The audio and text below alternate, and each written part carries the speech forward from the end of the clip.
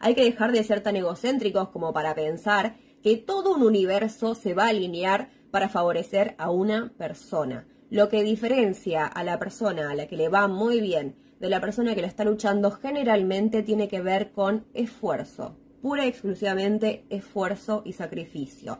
¿Por qué? Porque quizás mientras vos estás el domingo disfrutando un asado con amigos o en familia, que está perfecto, esa otra persona a la que vos admirás está estudiando, está trabajando, está generando contenido para sus redes sociales, está poniéndolo todo cuando también quiere descansar para poder lograr mejores resultados. No existen personas mágicas a la que la vida les haya sonreído porque sí, sino personas que se sacrifican un montón y que hacen cosas que quizás uno no está dispuesto a hacer y está perfecto, pero por eso consiguen esos resultados excepcionales, porque hacen cosas que el promedio de las personas no hacen.